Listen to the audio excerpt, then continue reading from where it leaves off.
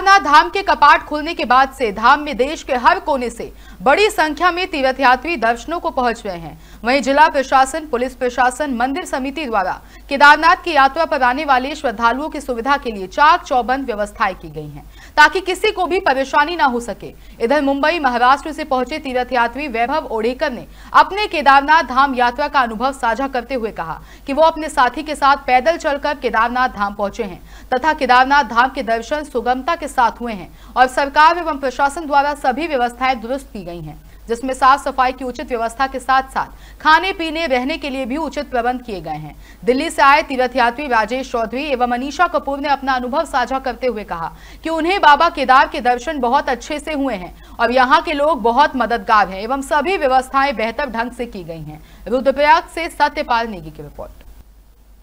तो हम लोग आए हैं पैदल यहाँ से और हम लोग को करीबन लगेगा बारह घंटे ऊपर आने के लिए।